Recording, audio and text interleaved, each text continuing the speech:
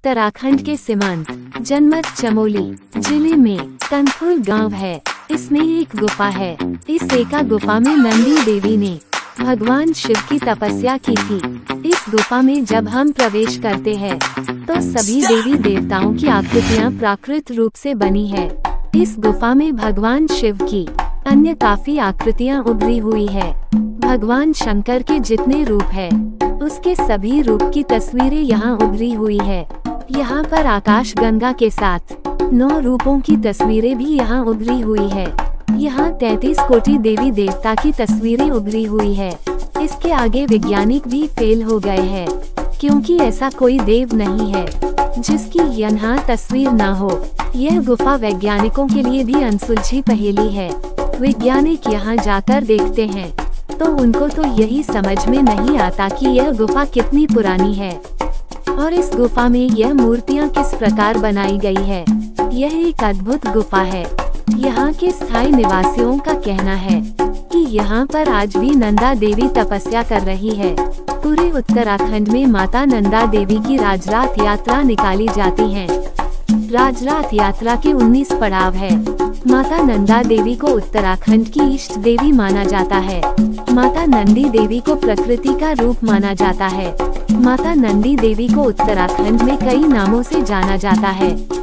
जैसे राज, राजेश्वरी सुनदा नंदनी शिवा इत्यादि। नंदा देवी को धार्मिक, एकता का प्रतीक माना जाता है। राजरात यात्रा हर एक वर्ष के बाद मनाई। नंदा देवी को हिमालय की पुत्री माना जाती है और इसको भगवान शिव की अधर्गिनी के रूप में पूजा जाता है। नंदा देवी राजरथ यात्रा क्या है? राजरथ यात्रा में नंदा देवी को उसके ससुराल भेजा जाता है। इसी को नंदा देवी राज रथ यात्रा कहते हैं। इस दिन माता की विदाई करके कैलाश को भेजा जाता है। इससे प्रसन्न होकर माता पूरे उत्तराखंड की रक्षा करती है। इस दिन चार सिंह वाले भेड़ को माता के रूप में छोड़ा जाता है। माता की यात्रा को एक दुल्हन की डोली की तरह सजाया जाता है। और इसकी दुल्हन की डोली की तरह ही विदाई की जाती है। नंदा देवी गुडवाल के साथ कुमाऊं के राजाओं की कुलदेवी भी मानी जाती है। दो थैले लटकाए जाते हैं, जिसमें माता के गहने और श्रृंगार का सामान रखा जाता है। इस इस भेद की आखिरी पूजा हेमकुंड में की जाती है। इसके इस बाद भेद को छोड़ दिया जाता है। यहाँ के लोगों का मानना है, ये भेद कैलाश में प्रवेश करते ही विलुप्त हो जाता है। और ये भेद शिव लोक यानी माता पार्वती के पास पहुँच जाता है, और माता को अगले साल लाने की विनती करता है। माता की यात्रा दो प्रकार की होती है। पहली यात्रा वार्षिक होती है, जो हर साल मनाई जाती है, और दूसरी यात्रा 12 वर्षों के बाद मनाई जाती है। यह यात्रा चमोली ज़िले के कसाब से शुरू होती है, और दसौली और बादान से होती हुई यह मात्रा 280 किलोमीटर की दूरी तय करती है। हेमकुंड में इस यात्रा का आखिरी पड़ाव माना जाता है। इस यात्रा में अल्मोड़ा, कटारमल, नैनीताल से भी माता की डोलियाँ आती है। यात्रा को दूसरा पड़ाव नाटो गाँव में होता है। इसके बाद यह यात्रा 200 स्थानों से होती हुई, नंदा नगर घाट से होती हुई नोटों में समाप्त होती है। इसके बाद नोटी गाँव से होती है। अब की बार यह यात्रा 2024 में शुरू होगी। आप लोगों से विनती है। कि आप सभी लोग इस यात्रा में शामिल होने के लिए तैयार रहिए।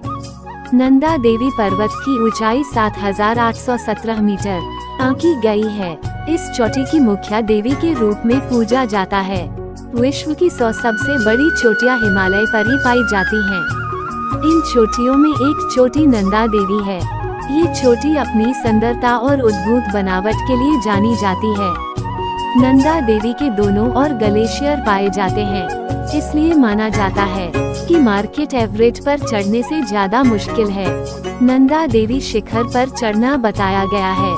माउंट एवरेस्ट पर चढ़ने से पहले आपको नंदा देवी के शिखरों पर चढ़ाई करने की सोचनी चाहिए, क्योंकि नंदा देवी के शिखरों को भी बहुत दुर्गम शिखर माना गया है। दोस्तों, आप लोगों को हमारी वीडियो कैसी लगी? यह जानकारी हमको कमेंट करके ज़रूर देना। अगर आप लोगों को हमारी वीडियो पसंद आई हो तो कृपा करके हमारे हनु हिस्ट्री के चैनल को सब्सक्राइब ज़रूर करें।